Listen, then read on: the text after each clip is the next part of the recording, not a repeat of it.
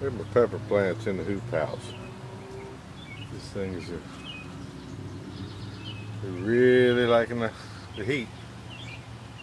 They're doing good. There's a couple more down here. These are Tabasco here. The others was jalapenos. There's something, be a slug or something liking them. But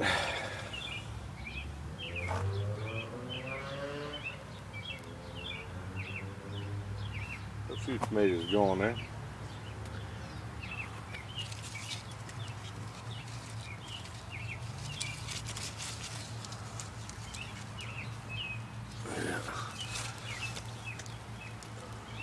Yeah, baby.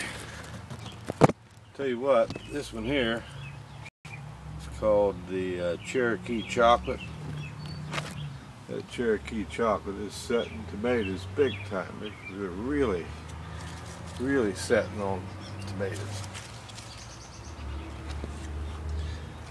Pretty nice too.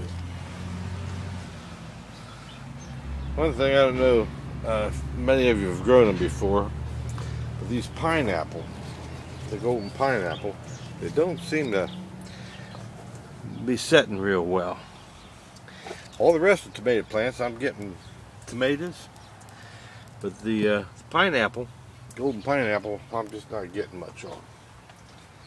So uh, if any of you know about it, maybe you know whether they set heavy or it takes a while or but can't hardly reach up top here. They're really getting up there.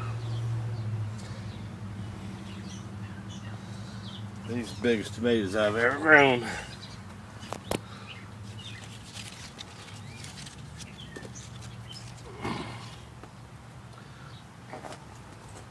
Well, tubers, that's it for now. There's another, that's a Hungarian wax. But that's it from the hoop house for now. Talk at you later.